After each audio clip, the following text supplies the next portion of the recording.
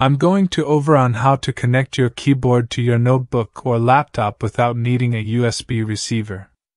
It's super easy, so let's dive in. First, turn on your keyboard. Depending on the model, you might have a power switch on the back or side, or there could be a Bluetooth button, sometimes marked with BT or a symbol. If you have a Logitech keyboard, you may need to press and hold a button to get it into pairing mode. Just make sure the keyboard is in pairing mode so your computer can find it. Next, go to your laptop.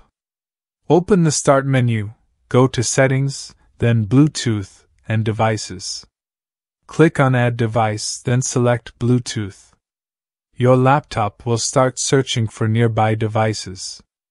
Once your keyboard shows up in the list, click on it to pair. It should connect right away. If your computer asks you to type in a code on the keyboard, just follow the instructions on screen.